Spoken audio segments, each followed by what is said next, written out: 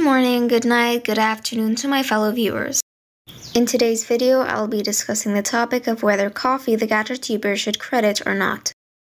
Before I begin this video, I'd just like to say that this video is solely based on my opinion, and it's fine if you disagree, just please be respectful in the comments. Coffee is a Gacha tuber with over 200,000 subscribers, and she usually makes trends whether original or not. Now, I won't be talking about whether she's overrated or not because it would be quite irrelevant to the whole entire video, but if you want, you can go in the comments and discuss that. Now, I'm sure the first thing that comes in your mind is, of course, she needs to credit. That's other people's work she's taking. And yes, that is plagiarism because she is not acknowledging the real creator nor making them feel appreciated anymore.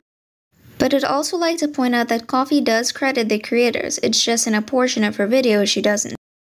Coffee has actually made a response to this basically saying that Gacha tubers who have like over like 2k to 15k who had a lot of views don't usually credit and she doesn't understand why she always gets the bad end of the stick. She also states that it's very hard to find the original creators of the trend when thousands of people do it at around the same time.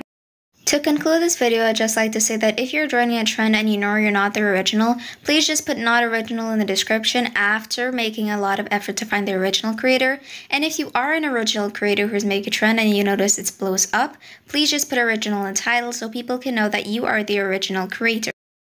Anyways, that was it for the video. Stay tuned, my angels.